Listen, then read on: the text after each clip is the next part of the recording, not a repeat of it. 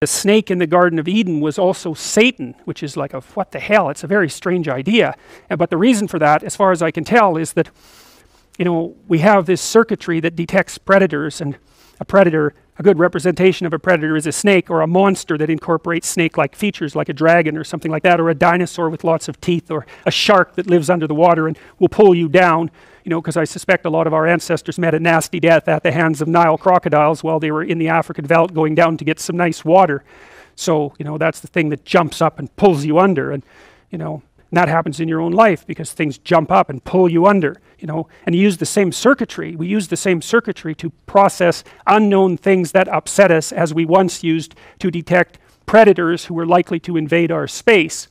And so and, and human beings are capable of abstraction. And so, you know, you could think about the real predator that might invade your space, and maybe that's a snake or a wolf or, or some kind of monster.